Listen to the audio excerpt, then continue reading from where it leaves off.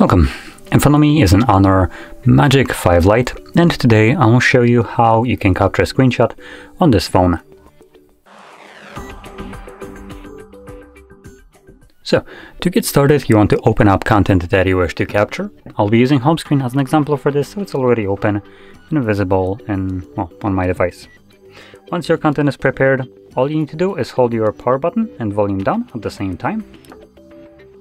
You'll have this pop up right here and telling you that if you swipe up you can share it and swipe down uh, you can capture a scrollable screenshot and after a moment it will disappear. Now this kind of information only shows up once, later on it's just gonna look like this, but no, typically they have no info. Fine, let's try it again. And there we go. As you can see now it's not giving us the information anymore. Now, the screenshots that I have captured can be now found in the gallery application, so I'm going to open it up. Okay, I agree. Get started, there we go. And it will be visible right in the Photos tab, tab as the newest one, assuming you have just captured them.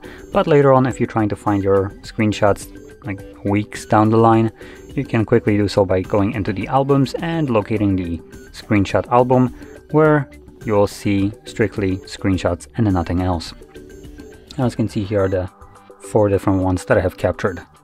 So there we go.